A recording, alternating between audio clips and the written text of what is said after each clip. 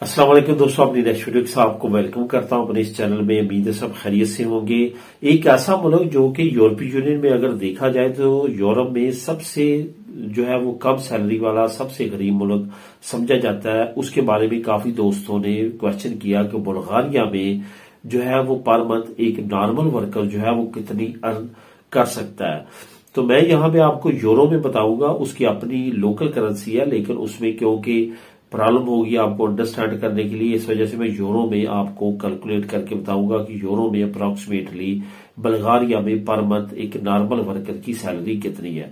سب سے پہلے تو آپ کو بتاتا چلوں کہ وہاں پہ پر آر جو سیلری ہے وہ بھی یورپ میں سب سے زیادہ لو ہے۔ اور اگر اس کی سیلری ویسے پر منتھ والی یورو میں اگر کنورٹ کرے تو وہ بھی یورپ میں سب سے زیادہ لو ہے۔ اس وقت جو اپروکسیمیٹلی جو سیلری ہے بلغاریہ میں وہ چار سو یورو تک پر منتھ ہے۔ یعنی کہ اپروکسیمیٹلی چار سو یورو جو ہے پر منتھ ایک ورکر وہاں پہ کما لیتا ہے۔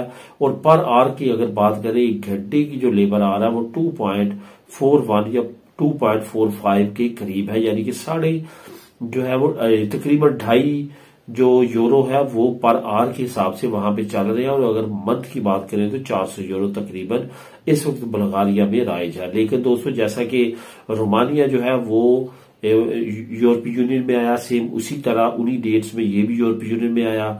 جس طرح وہ اب کوشش کر رہا ہے شنجر سٹیٹ میں آنے کی، سیم اسی طرح بلغاریہ بھی ان کوششوں میں ہے کہ یہ جلد سے جلد شنجر سٹیٹ بن جائے۔ شنجر سٹیٹ بننے کے بعد یہاں پہ ورکرز کی جو حالات ہیں وہ یقینی طور پہ تبدیل ہوں گے۔ ابھی جو فی الحال جو ہے یہ شنجر اسٹیٹ تو نہیں بنا ہنڈریڈ پرسینٹ لیکن بائی سی اور بائی ایئر یہ شنجر اسٹیٹ بن چکا ہے سیم لائک رومانیہ۔